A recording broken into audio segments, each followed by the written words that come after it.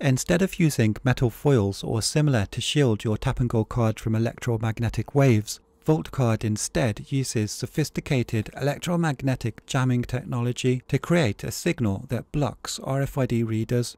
Vaultcard switches on automatically when it senses the electromagnetic wave emitted by the RFID scanner.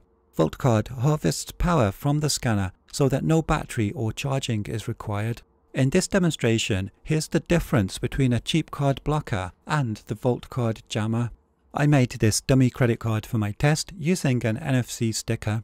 This only returns a weak signal because unlike your credit card, it doesn't have a bigger antenna built into the perimeter of your card. So we have to get a little closer. Using the card reader app on my phone, you can see we can detect the unprotected card. Now let's try with the Vault card, which can be up to 4 centimeters away in any direction. We'll do it this way.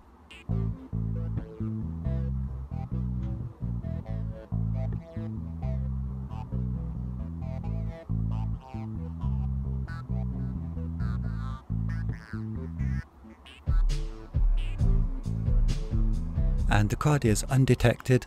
And now with this regular card blocker, we see it's not effective from this far away.